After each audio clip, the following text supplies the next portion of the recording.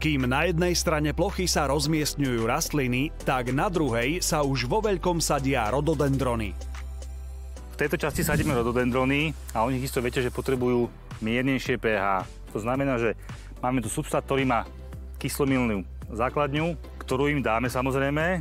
A o tom, prečo to tak robíme, o tom nám povie Bohdan, ktorého som si prizval k tomuto záverečnému kusu, aby som ho vysadil tak, ako to má byť keďže nevieme v zásade vyhodnotiť, aký typ pôdy tu používame, alebo teda do akého typu pôdy sadíme.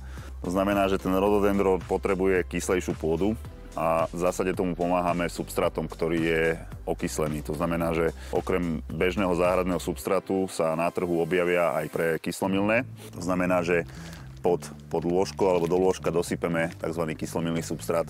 Aby ktorý... sme toto zabezpečili čo najdlhšie, urobíme tú jamu čo najväčšiu, a kľudne na takýto veľký krík zásobu minieme aj vecko dve.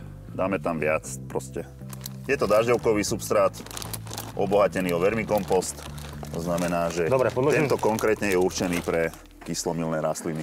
Čučoriedky a hlavne rododendrony. Čiže ja mám zhruba 60 cm, 30 cm je substrát kyslomilný, 20 cm má ten koreňový bál. Zasadíme ho tak, aby bol na úrovni zeme a obsypeme ho dokola substrátom, ktorý je určený na kyslomilné rastliny. Mnoho ľudí sa milne domnieva, že v tom kvetinači, keď dojde tá rastlina, tak ona už má nejakú tú predvýbavu. To znamená, ten pestovateľ určite sadil do toho substrátu, ktorý má byť, ale keď si človek uvedomí, že tá rastlina v tej voľnom prostredí, v tej voľnej pôde začne rozkoreňovať, to znamená, že ona sa z toho svojho prirodzeného prostredia, v ktorom je privezená, začne tlačiť von a vtedy jej urobíme také väčšie lôžko, tak aby tá rastlina v podstate mala aj kam rásť.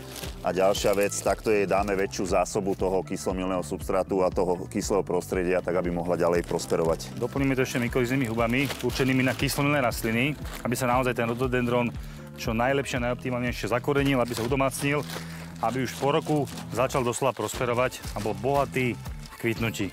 Veľa ľudí si myslí, že bežný záhradný substrát postačuje na to, aby som do neho posadil aj rastlinu, ktorá je náročnejšia na kyslé prostredie, ale vždy sa radšej spýtam odborníka, aký typ rastliny mám, aké potrebuje pH, alebo prípadne aké, aké, aké to okolité prostredie vyžaduje. A keď už, tak radšej si zoberiem špeciálny substrát, ktorý je určený na tie rastliny. Druhá vec, nešetrím s ním, snažím sa čo najdlhšie tú rastlinu udržiavať v tom, aby som nemusel potom dodatočne umelo dokyslovať. Už čiže takáto kombinácia, hodný substrát a mykorizné huby na kyselné rastliny zabezpečia to, aby tie rododendrony na tomto mieste naozaj prosperovali a boli cez meter vysoké. Kvitli a prinášali bielu farbu do tohto priestoru.